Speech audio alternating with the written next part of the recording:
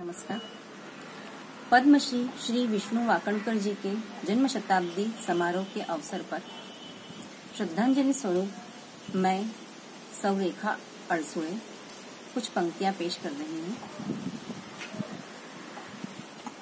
उज्जैनी में कई संत महापुरुष हुए अनेक। उज्जैनी में कई संत महापुरुष हुए अनेक। उनमें कर्मयोगी डॉक्टर विष्णु वाकणकर जी थे एक। थे अत्यंत सरल स्नेही, सौम्य व्यक्तित्व के धनी। थे अत्यंत सरल, सौम्य स्नेही, व्यक्तित्व के धनी, शालीनतापूर्ण व्यवहार उनका और अत्यधिक ज्ञानी। संस्कृति, कला, साहित्य, लेखन में नहीं उनका कोई सानी।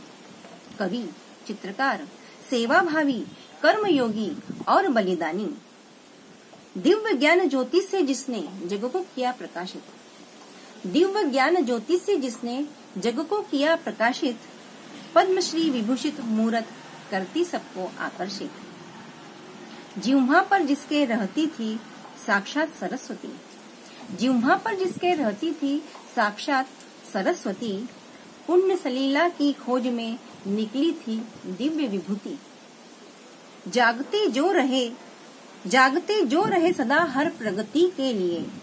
हो सहज विनयपूर्ण वाणी मधुरता लिए।